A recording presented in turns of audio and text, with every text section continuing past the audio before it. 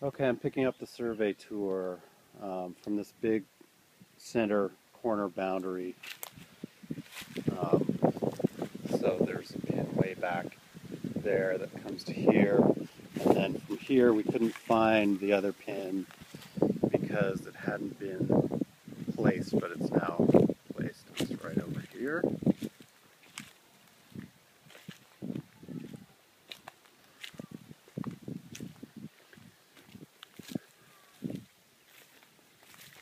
This is like a little elbow.